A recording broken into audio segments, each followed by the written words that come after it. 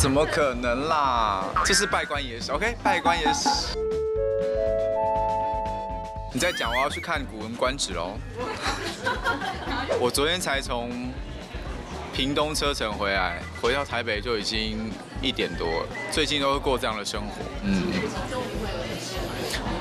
当然会啊，但没关系。其实说实在，今年入围的节目都蛮新新鲜的，所以我觉得每一年有这样的不同的节目被看到是好事情啦。对啊，他们才会比较知道分。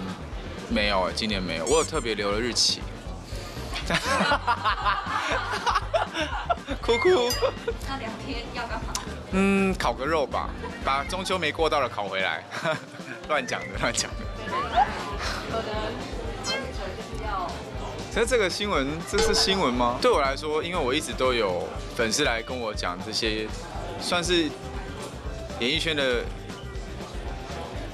是那个叫什么？呃，艺文趣事吧。嗯，对对对对，拜官野史，对对对，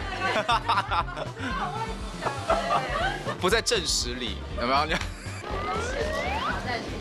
怎么可能啦？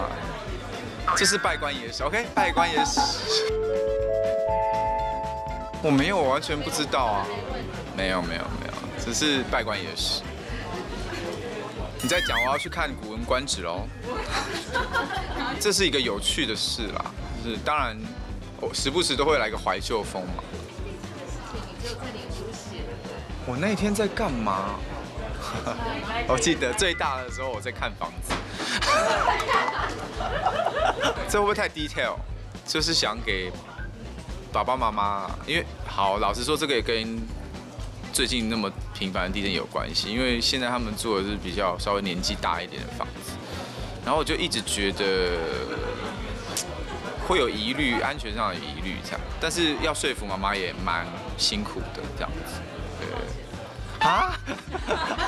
好低调。嗯，约莫不到不到那个奢侈税。你去帮我查一下，我不想在这边讲数字。好啊，